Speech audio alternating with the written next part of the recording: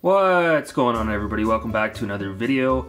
I hope you guys can appreciate this because uh, this actually ended up taking me quite a bit of time to, to dig all this out and sort of put everything together. So a little bit of an undertaking.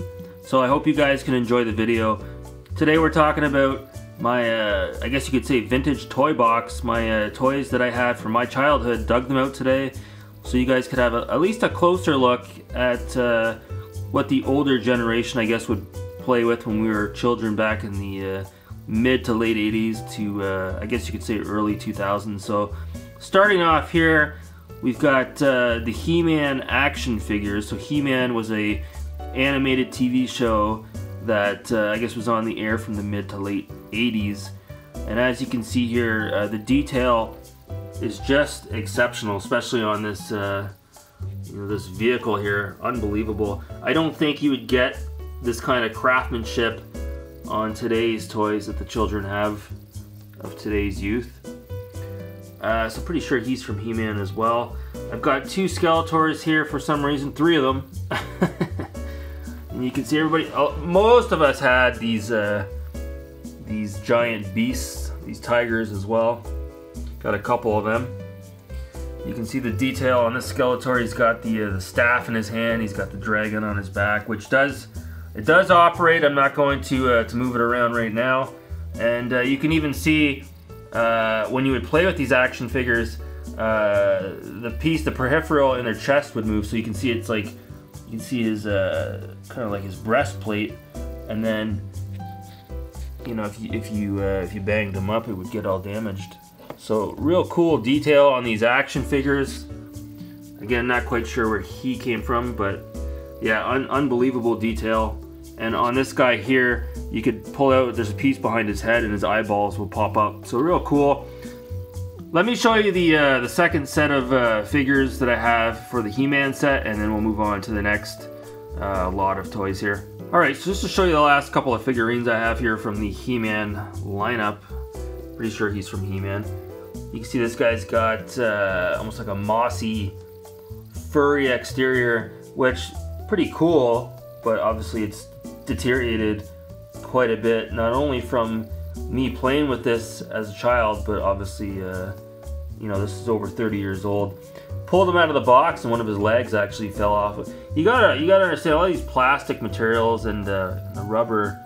It does deteriorate over time. And a lot of these older action figures, uh, you know, the pieces that connect their, their legs and arms together, very elasticy, and after a while, it's hard to get these characters to actually stand up. Like this guy here, his legs, you can see here, his legs are absolutely just jacked. Same with this this character back here. Now, what's cool is you don't I don't see this one too often. This is the uh, the purple variant of the uh, the large tiger figurine you know, he's got fur on him as well. He might actually go with this guy. I'm not 100% sure. And then you've got this guy up here as well. So real, real cool detail on these old figurines. Uh, I do, you know, see the, the difference in quality. Uh, well, maybe not this guy, but the build quality in some of the older toys uh, versus what the, the kids of today's generation are getting. So anyways, let me uh, move on to my next set of toys I want to show you guys. Ah, okay, so these guys here.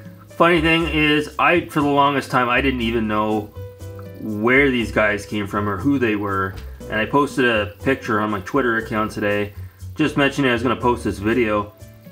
And uh, a guy that used to follow me on YouTube, he still has Twitter, uh, J-Rock, he's like, oh, I see BraveStarr. So I'm like, what the hell? So uh, I went online and looked it up, and yeah, it was a cartoon that was on from like I don't know, 87 to 88, 89.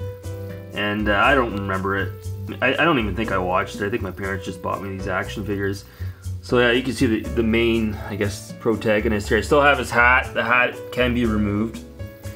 And then this guy here, what's funny about him is he's got this, uh, powered by uh, double A batteries. I don't know what it does, to be honest with you. Uh, you'd put the batteries in and then you'd press this button, but his backpack is so cumbersome that you can't actually stand him up normally or he'll just fall down. So,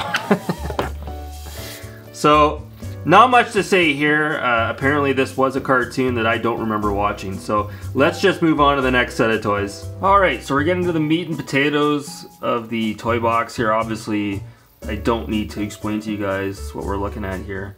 Now, with Teenage Mutant Ninja Turtles, maybe you guys can correct me in the comments if I'm wrong. I do believe the first movie that came out in 1989, I think the movie preceded the cartoon. I'm not sure. But it's just funny because my favorite turtle out of them all was uh, Michelangelo, and he's the guy that's the most beat up because I played with that toy the most.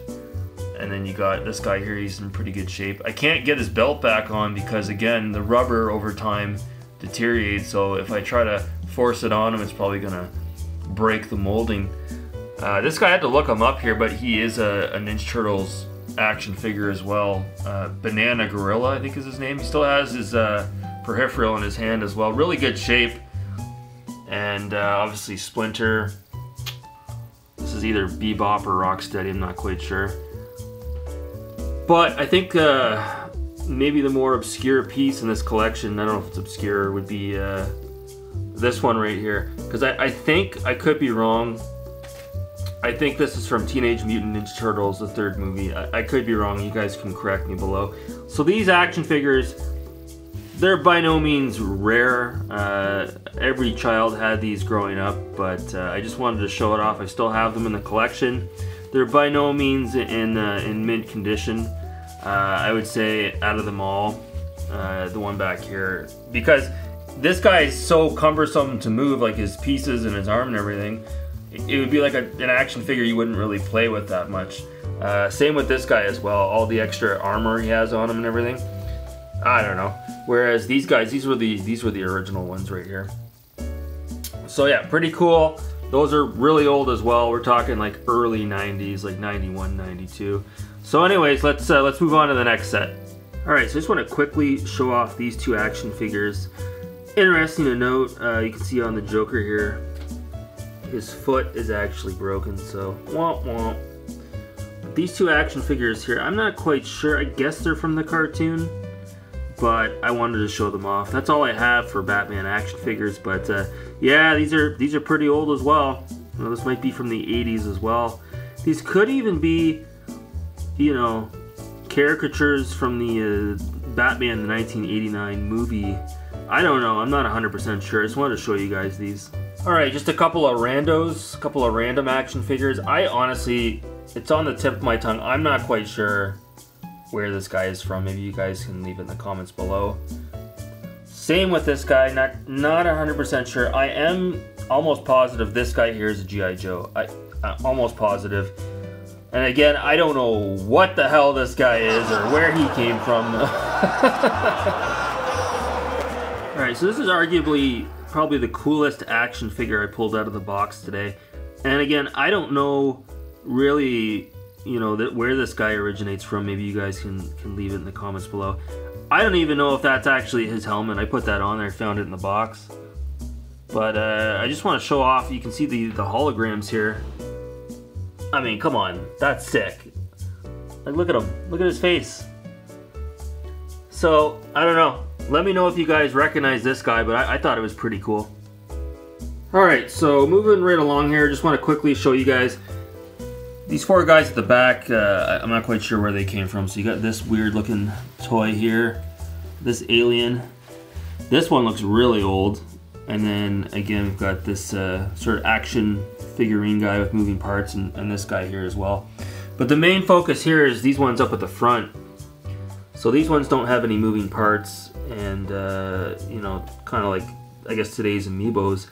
I can't remember what toy line lineup these these characters are from, but I have several of them, and they're quite detailed to be honest with you. They look really cool, as you can see. So if you guys recognize these, uh, feel free to chime in in the comments below because I honestly cannot remember where these guys came from. Alright, so as you can see here, this is probably the, uh, the crown jewel of the collection. Uh, we've got some figurines. I wouldn't even call them action figures. Uh, coming from the movie here, The Gremlins. And uh, what's interesting to note is these are made out of like a nice solid rubber. And although I've had these, you know, since I was a child, uh, you can't even tell that there's been any play with these, any wear and tear. They're just in phenomenal condition. And uh, I imagine these are probably worth a pretty penny if you were to look these up online. I know of a guy that I used to follow on YouTube, and he had a set of these as well. So, yeah, these are definitely conversation pieces for sure. Uh, I would never get rid of these. Uh, I don't really care about the other toys in the toy box as much as I do with these. Uh, again, nowadays, uh, you guys have, uh, I guess, the amiibos.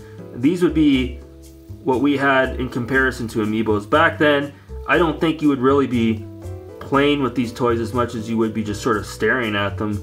Staring at them in awe. So, yeah, pretty cool. I'm really happy to have these in my collection. Uh, so let me just wrap things up. I'll show you the, the rest of the toys and we'll wrap this video up.